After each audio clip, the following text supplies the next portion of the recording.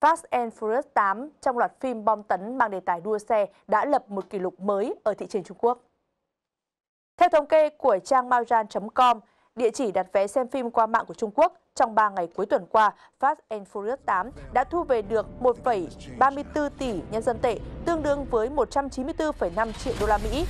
Do đó, bom tấn này đã lập kỷ lục là phim đạt ngưỡng doanh thu phòng vé 1 tỷ nhân dân tệ nhanh nhất ở thị trường Trung Quốc, và vỡ kỷ lục từng thuộc về phim Mỹ Nhân Ngư của vua hài Hồng Kông thu được hơn 1 tỷ nhân dân tệ trong 4 ngày công chiếu. Ngoài ra, Fast and Furious 8 còn lập kỷ lục màn chiếu nửa đêm có doanh thu cao nhất 9 triệu đô la Mỹ, ngày mở màn ấn tượng nhất 412 triệu đô la Mỹ vào hôm 14 tháng 4 và đạt doanh thu trong một ngày cao nhất 473 triệu đô la Mỹ vào hôm 15 tháng 4. Theo đó, thì Fast and Furious 8 cũng là phim nhập khẩu đạt doanh thu phòng vé cao nhất từ đầu năm đến nay ở Trung Quốc.